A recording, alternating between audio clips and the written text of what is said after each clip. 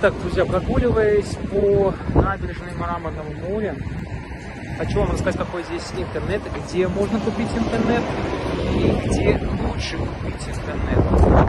Здесь есть, есть очень много различных опций Водофона, э, но там интернет дороже, сразу могу сказать, что дороже.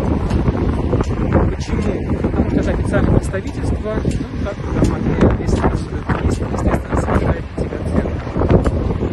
я сейчас был в одном из районов, э, более бедный район Турции, э, Турции, Стамбула.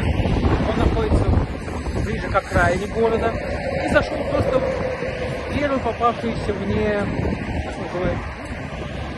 сотовую связь, так назовем, да, магазинчик сотовой связи, спросил, сколько стоит интернет. Интернет там стоил 200 минут бесплатно, 20 гигабайт интернета на один месяц, ровно на один месяц, стоил всего лишь 200 лир.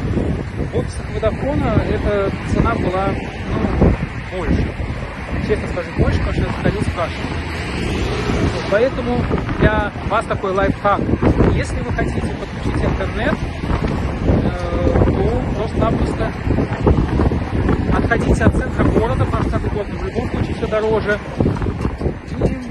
магазинчике сотовой связи покупайте спокойненько интернет.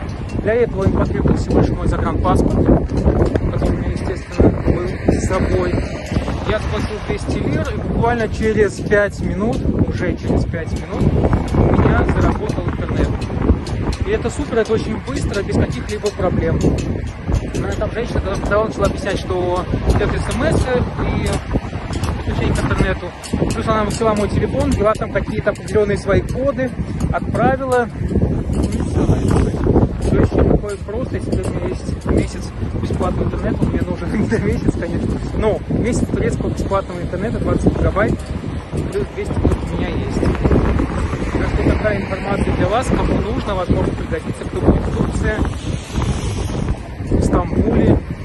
Ну, это можно сделать, как я сказал, чуть-чуть отходить от центре все цены завышены.